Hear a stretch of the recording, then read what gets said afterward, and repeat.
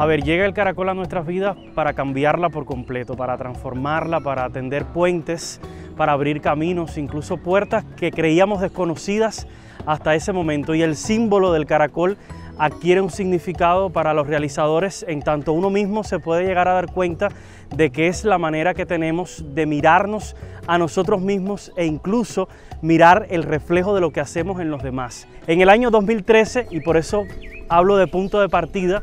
obtuvo el primer caracol, siendo un joven recién graduado de la Universidad de Oriente en la profesión de licenciatura en periodismo. Lo hago con un producto mm, audiovisual, específicamente un producto radiofónico dedicado a la historia de la cadena oriental de radio. Cuando obtengo el premio, más que obtener el premio, eh, Dairon Chan,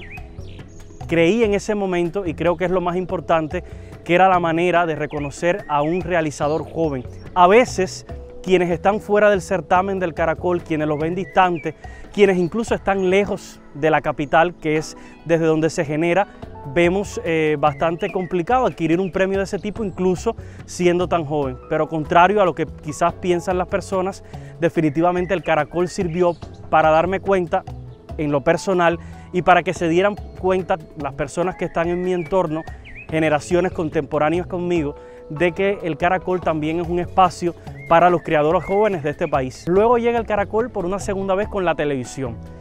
y lo hace nuevamente con un producto historiográfico. Definitivamente el Caracol para todas las personas y creo que en lo particular es ese espacio donde uno puede eh, mostrar lo que quiere decir a los demás, compartirlo, intercambiarlo, dialogarlo, confrontarlo y sentir que forma parte de un diálogo general que al final el diálogo que se genera entre todos los creadores cubanos. Como es mágico el caracol que uno se lo pone al oído, que el caracol cuando tú te lo pongas al oído lo escuchen más personas. Es necesario entonces que a través del caracol se siga construyendo la imagen de nuestro país porque al final es lo que hacen los realizadores. Los realizadores a través de su subjetividad, de su interpretación del mundo, reflejan la imagen de todo lo que tienen en su entorno y por eso creo que todavía el Caracol tiene desafíos desde el punto de vista generacional, desde el punto de vista de convocatoria, pero son desafíos que puede saldar en el futuro